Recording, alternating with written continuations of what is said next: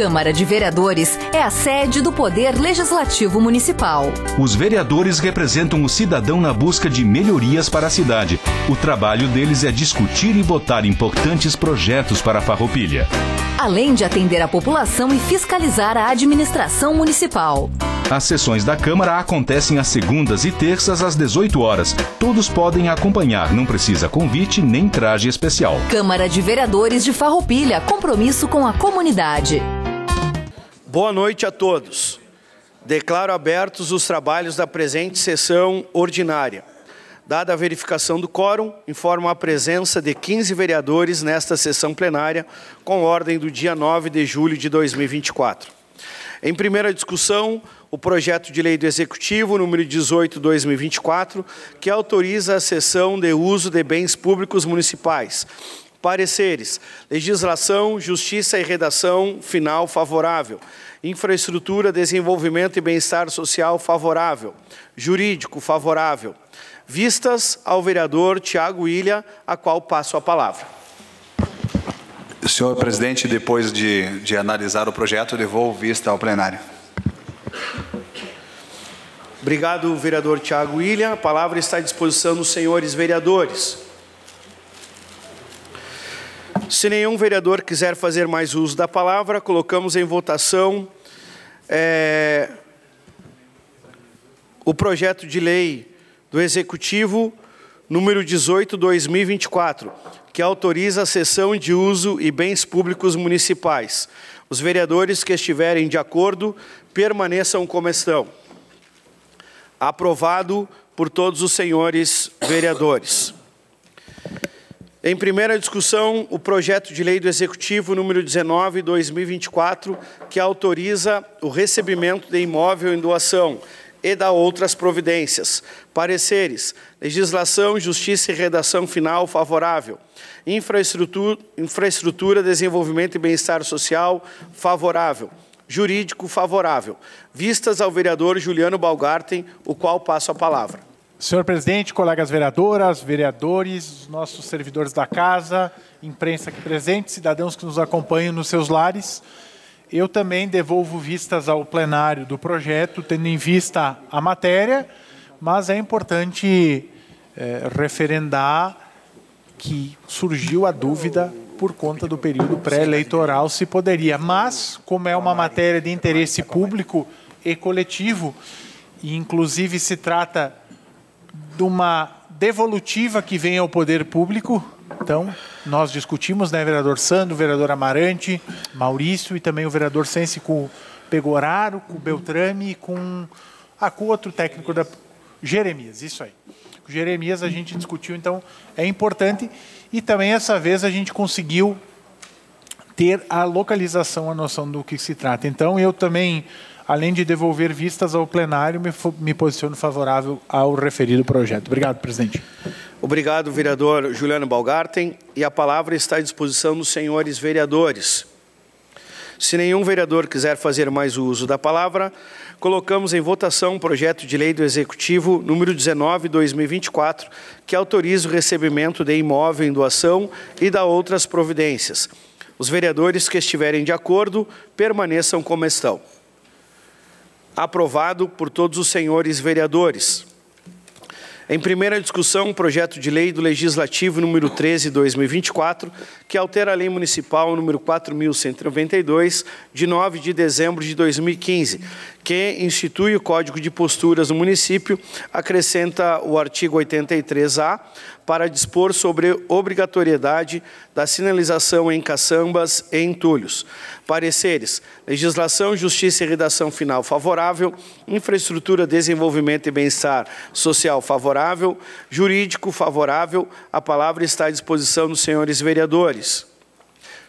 Com a palavra, o vereador Caleb Coelho. Sobre o projeto de lei do Legislativo número 13 de 2024, que altera a lei número 4192, que institui o Código de Posturas do município e acrescenta o artigo 83A para dispor sobre a obrigatoriedade da sinalização em caçambas coletoras de entulhos.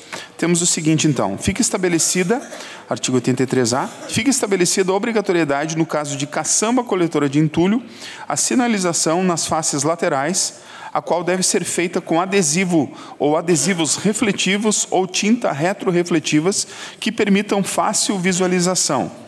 Parágrafo único. A aplicação dos adesivos refletivos ou tintas retrorefletivas será de responsabilidade do prestador deste serviço.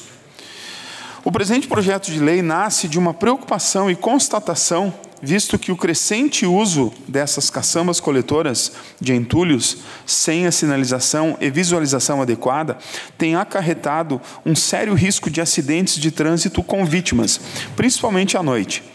Assim, considerando a situação de perigo que esses recipientes de coletas de entulho mal sinalizados representam para o trânsito dos munícipes, apresento esse projeto de lei do Legislativo com a finalidade de obrigar a sua sinalização com adesivos refletivos ou tintas retrorefletivas que permitam fácil visualização e, consequentemente, diminuindo o risco de acidentes de trânsitos no âmbito de farroupilha. Importante frisar também que esse projeto foi uma sugestão de um morador, o Samuel Biff, que percebendo a quantidade de carros acidentados que chegavam até ele, se deu conta de que o problema é muito maior do que a gente imagina. Né? Afinal de contas, ele, como está num nicho de mercado, ele, tem, ele pode com propriedade nos dizer que isso está realmente acontecendo. E quando uma pessoa bate o carro num, num coletor, num, num, igual esses que guardam entulhos, não é como bater num tonel, como bater é uma coisa pesada, né? Então, além de ser um risco, o dano é sempre muito grande. Então, muito apropriada essa sugestão de lei que o nosso uh, munícipe trouxe. E também gostaria de pedir aos colegas a, a, a, aprovação e a votação ainda nessa noite em regime de urgência, se estiver tudo ok. Muito obrigado. Obrigado, vereador Caleb Coelho. E a palavra está à disposição dos senhores vereadores. Com a palavra, o vereador Gilberto do Amarante. Senhor presidente, quero dizer que votarei sim favorável ao referido projeto, mas também quero dizer que, de repente, nós tínhamos que sinalizar todos os caminhões públicos, né? Eh, que estão a serviço público.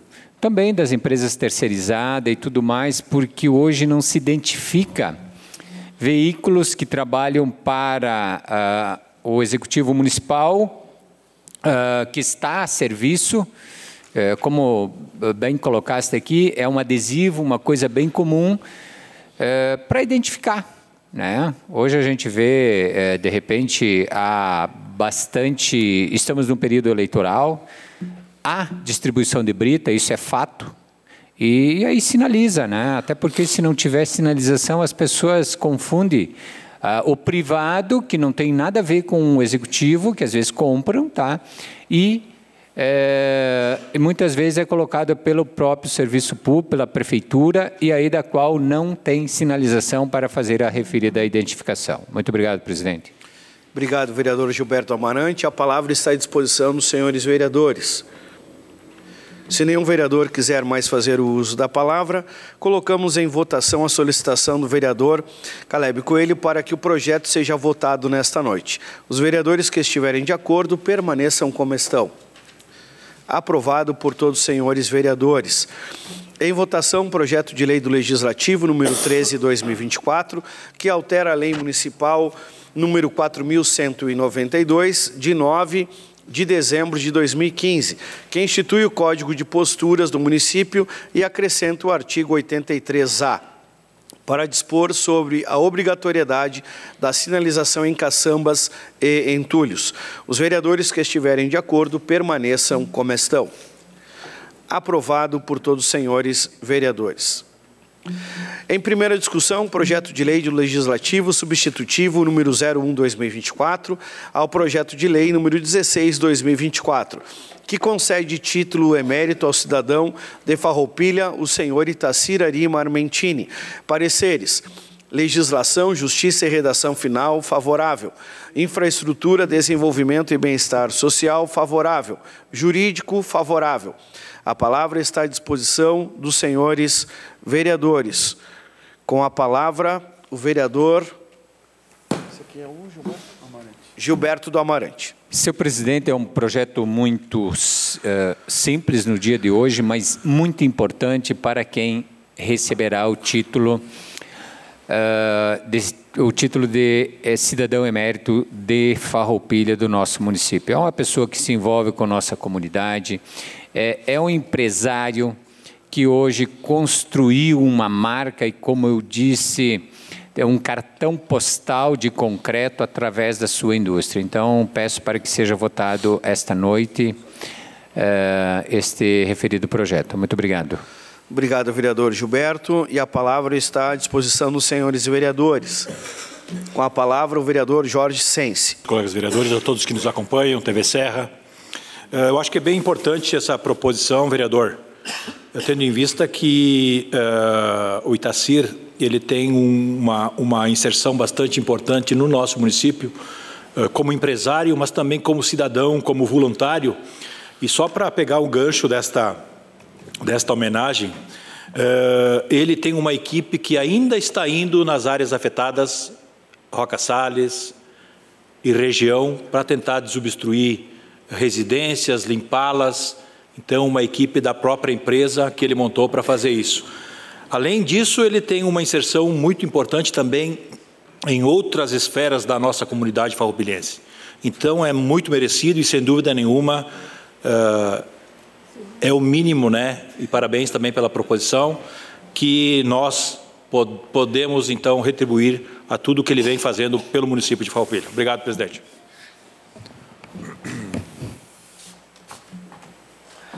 Obrigado, vereador Jorge Sense. E a palavra está à disposição dos senhores vereadores. Com a palavra, o vereador Roque Cervenini. Senhores vereadores, demais pessoas presentes, a imprensa, cumprimentar aqui o partido do PDT, através do vereador Gilberto Amarante, pela proposição eh, do título de título e mérito de cidadão ao senhor Itacir Ari Marmentini, nosso amigo, proprietário, empresário importante da nossa cidade, no ramo de malhas, de malharia, que é, sem dúvida nenhuma, um dos que impulsionou esse setor da fiação em nosso município e na região também, fazendo com que Farroupilha pudesse ser contemplada em vários pontos do país e inclusive também é, na TV, na TV Globo, por exemplo, ditando modas, inclusive nas novelas. É, e lembrar também aqui que o Itacir Marmentini é filho de agricultores, né, que veio lá da nossa querida linha Jacinto e que hoje, assim como lá, aqui também orgulha a nossa cidade. Então é justo esse título e que ainda iremos conceder, né? mas que nesse momento está pedindo uma autorização legislativa para que possa celebrar esse momento cerimonial da concessão deste título. Então, parabéns, vereador Amarante, pela iniciativa. Obrigado, vereador Roque Cervenini. A palavra está à disposição dos senhores vereadores. Se nenhum vereador quiser fazer mais uso da palavra, colocamos em votação a solicitação do vereador Gilberto do Amarante para que o projeto seja votado nesta noite. Os vereadores que estiverem de acordo permaneçam como estão. Aprovado por todos os senhores vereadores. Em votação, o projeto de lei do Legislativo substitutivo número 01/2024 ao projeto de lei número 16, 2024, que concede título emérito de cidadão de Farroupilha ao senhor Itacir Ari Marmentini. Os vereadores que estiverem de acordo permaneçam como estão. Aprovado por todos os senhores vereadores. Encerrado o espaço de discussão de projetos. Espaço dos requerimentos. Requerimento número 27, 2024. Convite a senhora Janaína Meik. A palavra está à disposição do vereador Tiago Pintos Brunet, pelo tempo de até cinco minutos. Boa noite, senhor presidente, demais colegas vereadores da MAT. Uh, apenas então para né, requerer aí a todos os colegas vereadores que a senhora Janaína Meik pós-doutorado em Ciência do Território pela Universidade José Fourier, França, para que venha a esta Casa Municipal para explanar sobre o tema é, cidades inteligentes. Eu tenho certeza que nos próximos dias aí vai ser um tema presente na nossa vida. Né? As cidades vão ter que se modificar, vão ter que buscar alternativas para se tornar sustentáveis, tanto do ponto de vista de governo, quanto do ponto de vista socioeconômico. E acredito que seja importante a gente escutar uma pessoa que tem experiência, né, tanto na prática quanto também na teoria no tema. Então, o Tiago Ilha aqui conhece bem ela, né? Foi aluno dela e, e a, a, esses tempos até eu falei, né, que as facas BV iniciaram também num trabalho através uh, da Janaína Mike e tenho certeza, eu acho que vai ser importante para todos para que a gente possa construir juntos o plano né, municipal das cidades inteligentes e posteriormente integrar ele ao plano diretor da nossa cidade para que a gente possa buscar recursos e buscar informações sobre o tema. Muito obrigado. Obrigado, vereador Tiago Brunet. E a palavra está à disposição dos senhores vereadores pelo tempo de até três minutos.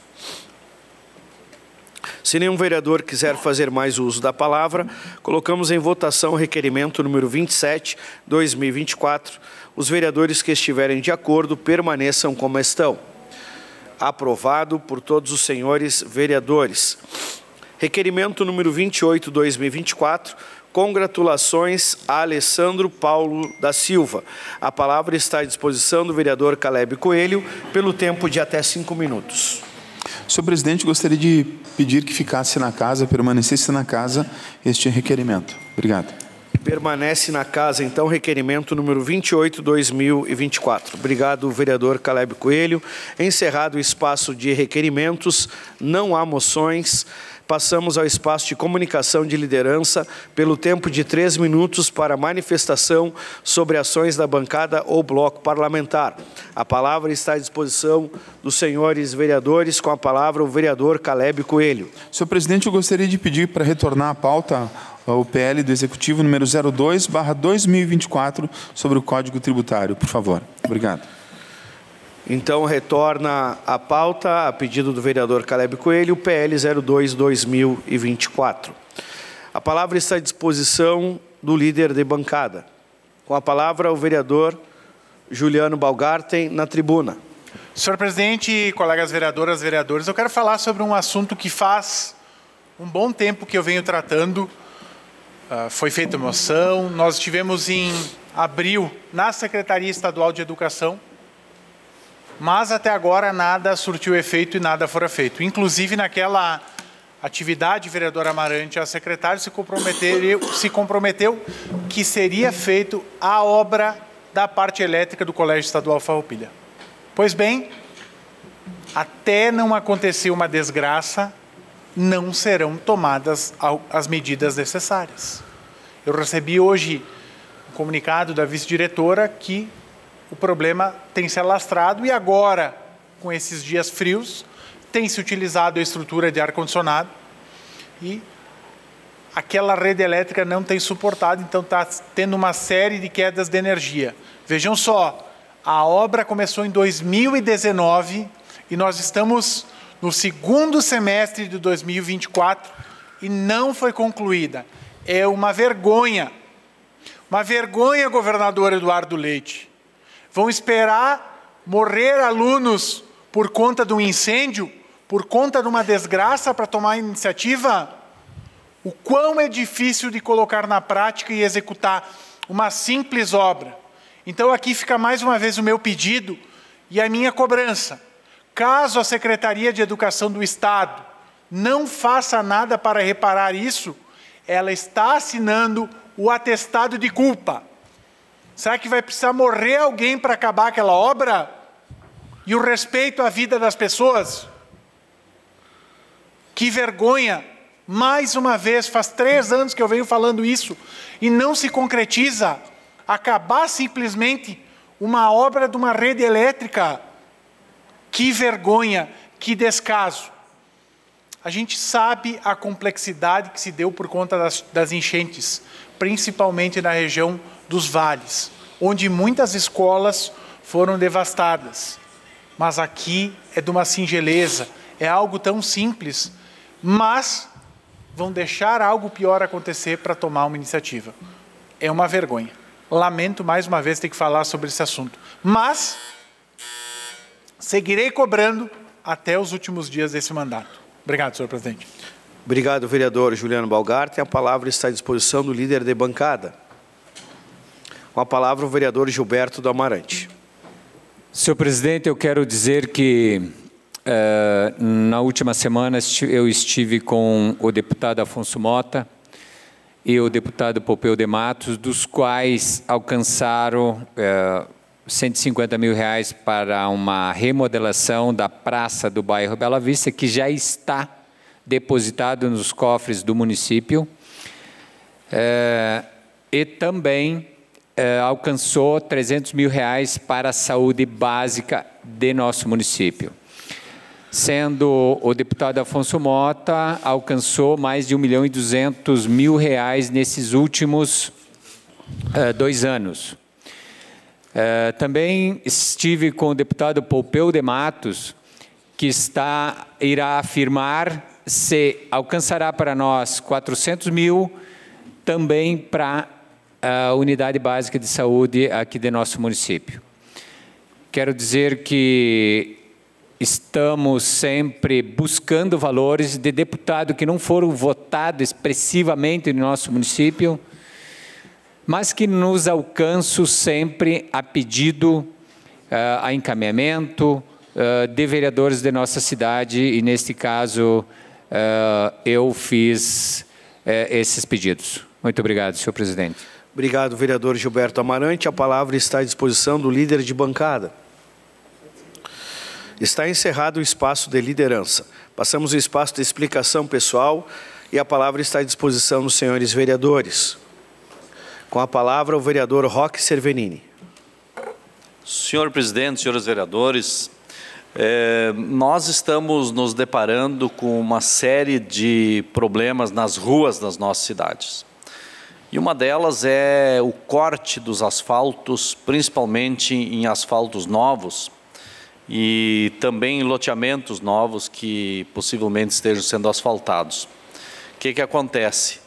É, como não há uma exigência de deixar a espera para água, para ligação de água, toda vez que alguém precisa ligar uma água numa residência, ou seja ela uma residência nova, ou então refazer a ligação de água, precisa cortar o asfalto.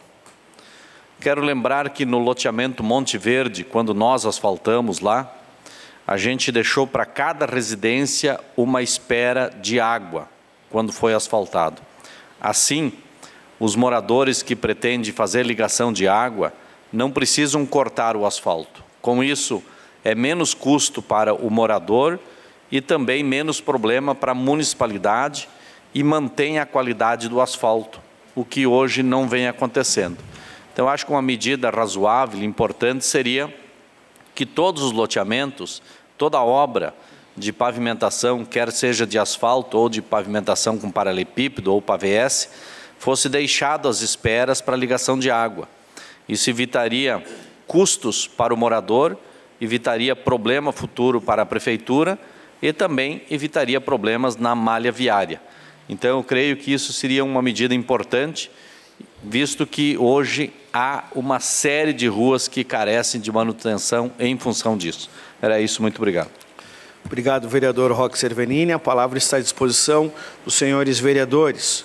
Com a palavra, o vereador Gilberto do Amarante. Quero lembrar aqui os vereadores da nossa última audiência do dia 3 de julho, uh, do qual os vereadores uh, complementam a todos nós pela atuação e o envolvimento de cada um que se envolveu na causa.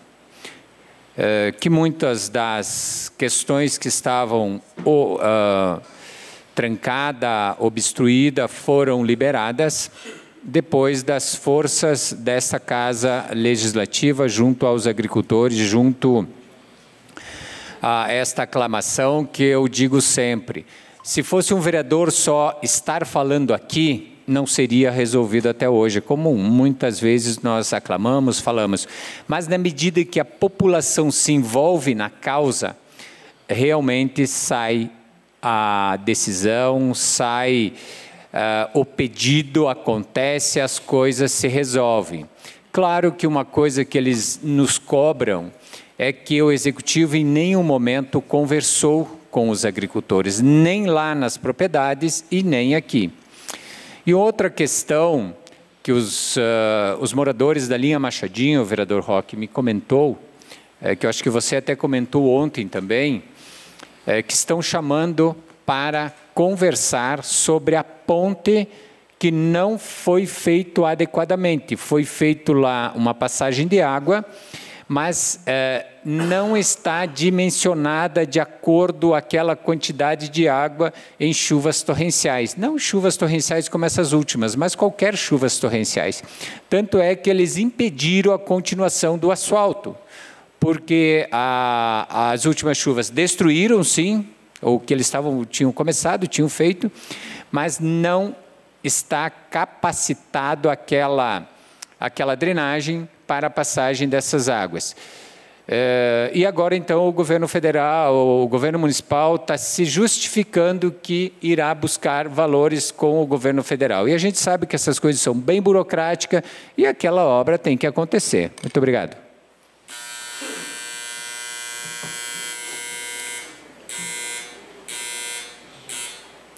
Obrigado, vereador Gilberto do Amarante. A palavra está à disposição dos senhores vereadores. Está encerrado o espaço de explicação pessoal. Espaço do presidente, só quero informar os senhores eh, vereadores que então, ah, durante essa semana, enviaremos para as bancadas o resumo da audiência pública do dia 3, para que todos tomem conhecimento então dos encaminhamentos. Nada mais a ser tratado nessa noite, declaro encerrados os trabalhos da presente sessão. Uma boa noite a todos.